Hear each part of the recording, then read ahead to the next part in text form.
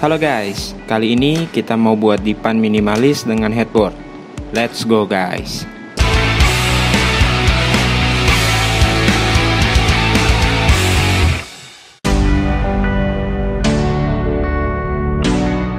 Pertama, kita mau mulai merangka untuk sandaran kepalanya atau headboard ranjang ini. Kita rakit dulu tulang-tulang penahan membentuk huruf L agar saat bersandar tulang-tulang ini nantinya akan menahan di tembok.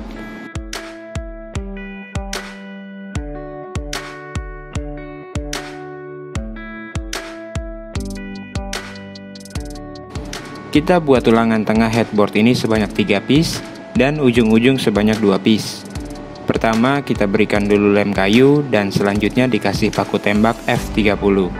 Lakukan hal yang sama untuk kelima tulangan ini.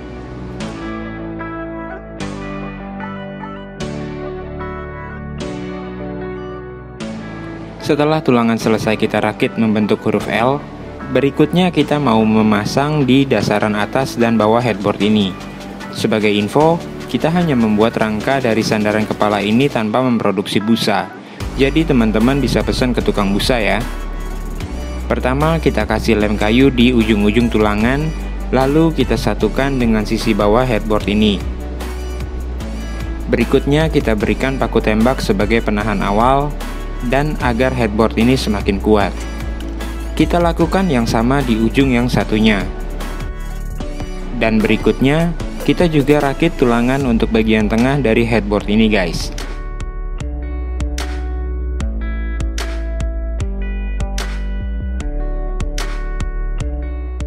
Lalu kita balik lagi untuk sisi atas head ini.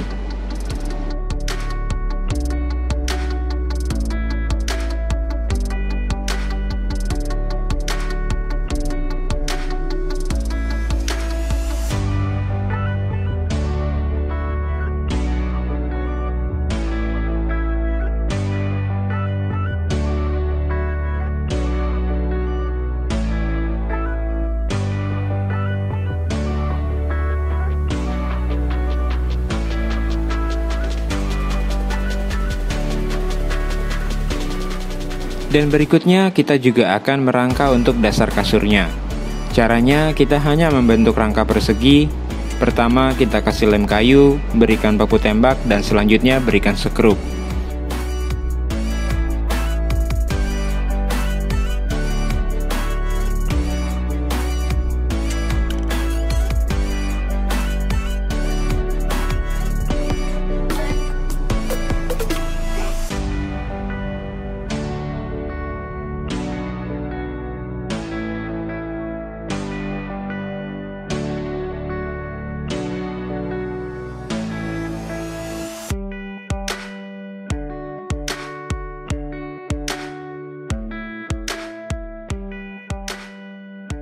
Setelah itu kita juga akan memberikan sekrup agar rangka headboard ini semakin solid. Kasih sekrup di sekeliling rangkanya guys, ujung-ujung dan juga bagian tengah atau sekat.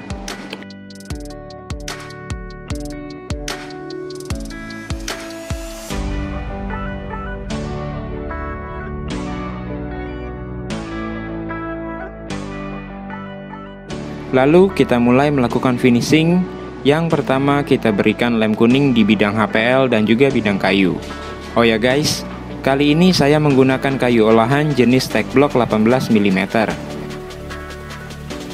Setelah hampir mengering, kita tempel HPL ke bidang kayu.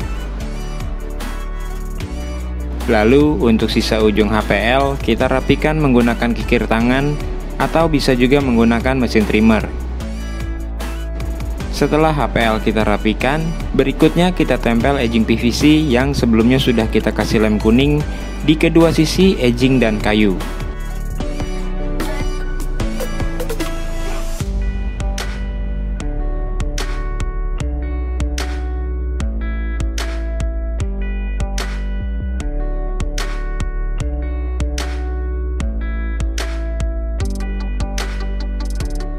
Lalu untuk memotong sisa edging, kita bisa menggunakan cutter yang sudah dimodifikasi. Untuk cara membuatnya bisa klik link di pojok kanan atas. Dan berikutnya kita juga tempel HPL untuk sisi samping headboard ini serta bagian sisi dari dipan yang lagi kita kerjakan. Dan ini adalah sisi depan ranjang yang kita kasih list sebagai ornamen. Caranya kita cukup kasih lem kayu lalu ditempel.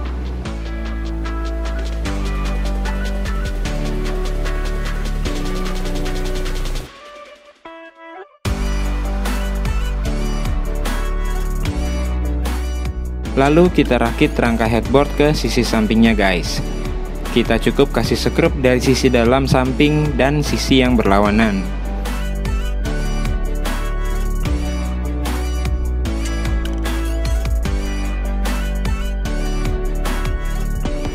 Untuk bagian atas, kita kasih sekrup dari posisi luar. Oke, kita mulai merangka tempat tidur ini secara keseluruhan guys. Pertama, kita satukan dulu rangka dasar kasur ini guys, lalu kita kunci dengan memberikan sekrup dari bagian dalam. Berikutnya, kita pasang sisi luar di sekeliling ranjang.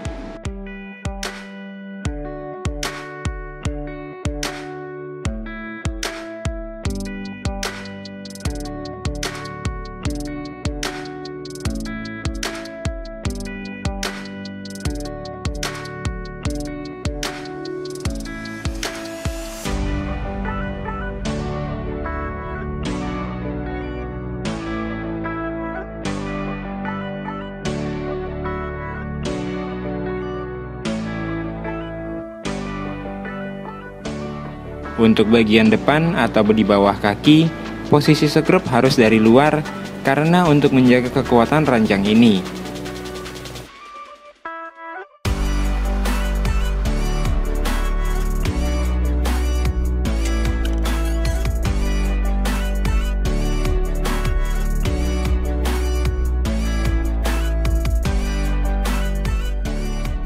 Dan berikutnya kita sekrup dari bagian dalam.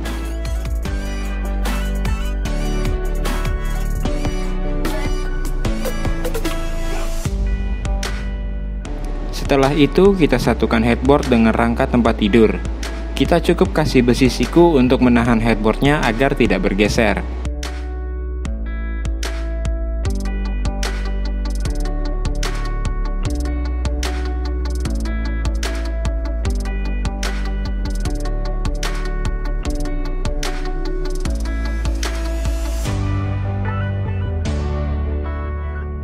Pasang ambalan atau dasaran kasurnya.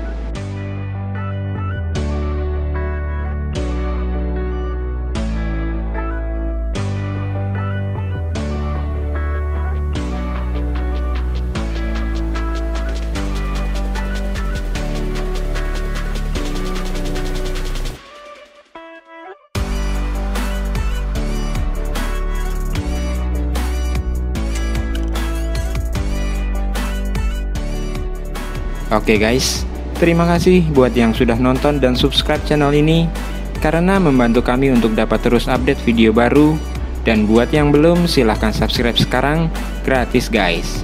Maju terus woodworking Indonesia. See you next time.